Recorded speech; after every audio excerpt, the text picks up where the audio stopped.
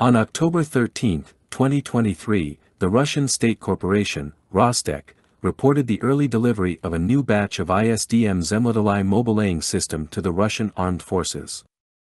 This system is capable of quickly covering an extensive area, with a firing range spanning from 5 to 15 kilometers. It deploys 122 mm caliber missiles, each equipped with warheads containing either anti-tank or anti-personnel mines.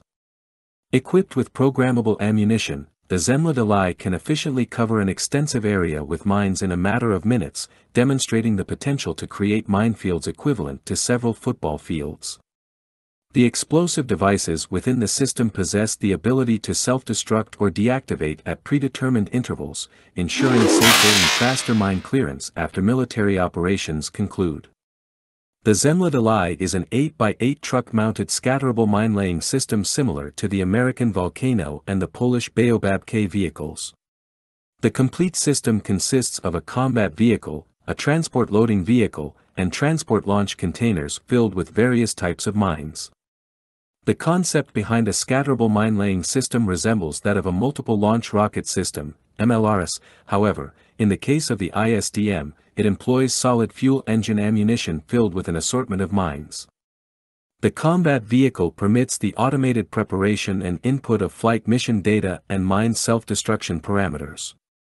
Furthermore, the ISDM possesses the capability to automatically fire a salvo at calculated aiming points, record the coordinates of impacts on an electronic map, and transmit data to higher control levels. The ISDM Zemlya represents the latest addition to Russia's arsenal of mine-laying system launchers, designed on the framework of an 8x8 KAMAZ 6560 military truck. The system includes a crew cabin in the front and supports two sets of 25 122mm tube launchers, which are equipped to dispatch either anti-tank or anti-personnel mines.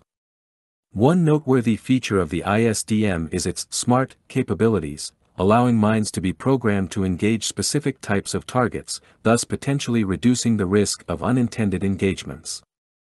Additionally, the system includes sensors that can detect friendly forces, potentially preventing unintended engagements with allied vehicles.